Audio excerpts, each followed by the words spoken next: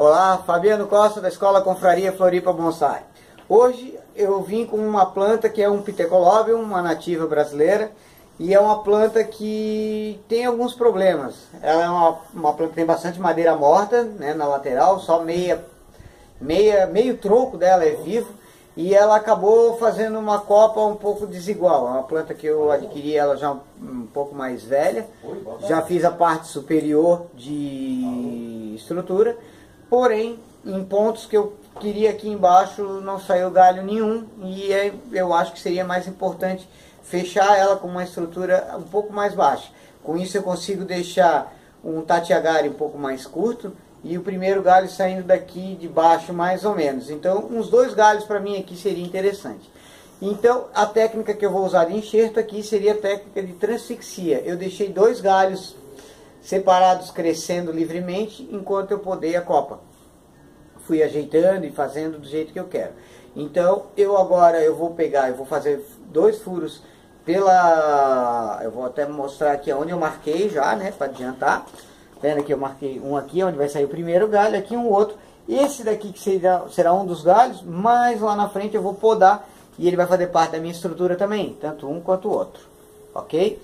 Então, nós vamos furar agora essa planta e vamos primeiro limpar esse galho para esses espinhos e essas folhas não atrapalharem na hora de atravessar o tronco.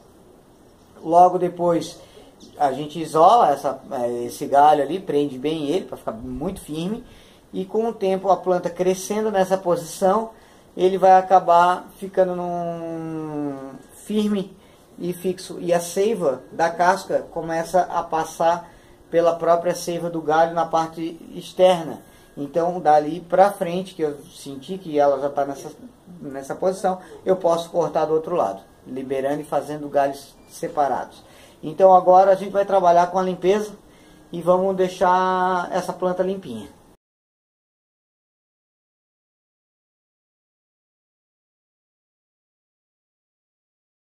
Uma coisa interessante, importante, quase que eu esqueço, não é o Fernando que eu ia esquecendo, na hora da gente fazer o furo, é legal fazer o furo pelo exatamente aonde a gente quer que saia o galho, porque ele fica perfeitinho, fica bem limpo e a posição da, da broca na hora, no momento, vai ser exatamente a posição que vai vir o galho. Se você quer que o galho venha um pouco para baixo, tem que fazer ele um pouco inclinado para um lado ou para o outro. Então ali é a hora da, da grande verdade. Ó, tá vendo que os dois galhos aqui já estão totalmente limpos? sem nada, então ele vai poder passar bem por ali. E agora a gente usa, vou botar aqui em diagonal, vamos usar a furadeira para... Eu vou usar agora de cara já assim um de 4 milímetros, porque eu acho que é o mínimo que vai dar. Se por acaso a gente vê que precisa passar um pouquinho mais, a gente aumenta uh, o diâmetro da, do furo. Mas por enquanto é isso aí, dá uma, uma força aí, gente boa. Então aqui eu quero que saia bem rente. A princípio eu vou pegar esse maior para isso. O que, que eu vou fazer? Simplesmente vamos torcer ele e atravessar o danado lá. Mas eu acho que para esse aqui nós vamos acabar tendo que precisar Aumenta. de um... Ó, tá vendo ele passando aqui, ó? Vamos ver, de repente até esse próprio, mas aí a gente consegue deixar ele um pouquinho mais grosso, né? Eu vou fazer um furo um pouquinho maior. Eu vou passar uma de 6 milímetros para esse galho aqui, tá? Não quer dizer que tem que ser 6 milímetros para qualquer enxerto de transfixia, tá? É nesse meu caso aqui eu vou aumentar.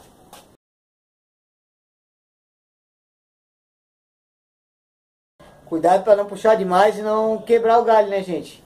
Bom que ele aqui está bem elástico, está bem legal. Tá bom. Esse daqui está firme.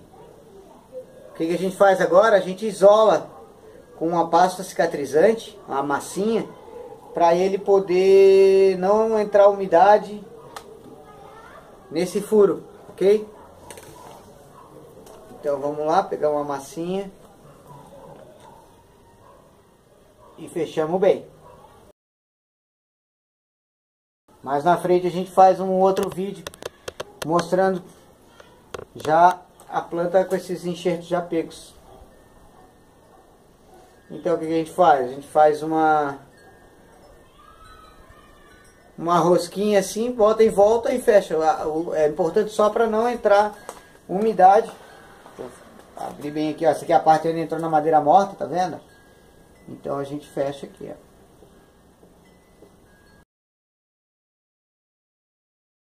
Esse está pronto. Agora eu vou pro outro.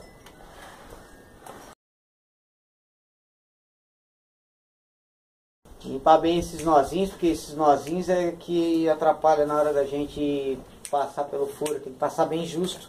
E ele tem que se firmar bem.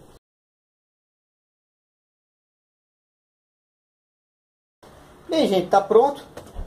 Agora é só esperar, né? Daqui a pouco eu mesmo pego isso daqui já deixo aqui pra cima, para deixar ele, ó, pronto, já não vai incomodar na prateleira também.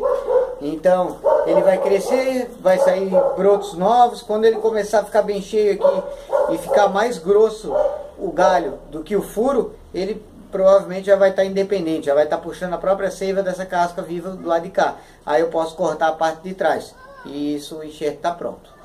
Tá? É uma técnica excelente para fazer de um material não tão bom ficar bem superior ao que já é, ok? Por favor, dá um clique de gostei no nosso vídeo e se inscrevam no nosso canal, ok? Um grande abraço, vamos aproveitando bastante que seja feito para vocês. Até mais, tchau. Tá, gente? Vamos focar, entendeu? Então, e ele fez assim, né? Ele pegou já um galhão assim, ó, que é uma nega, né? Take 1. Um. Estamos ao vivo no New Orleans. Transfixia, Piteco. Não é o grandão. Take 1, um, olha lá o gnomo. Me achou! Olha quem tá aqui! É, tá ficando difícil de alcançar aqui, ô parceiro. Vamos lá, vamos lá. Vou deixar tu assumir essa área aí, porque vai ficar fácil pra ti. Já foge, né? Quer o banquinho? Quer o banquinho não? Bota a mão bem aqui atrás, aqui, Fernando. Olha a confiança.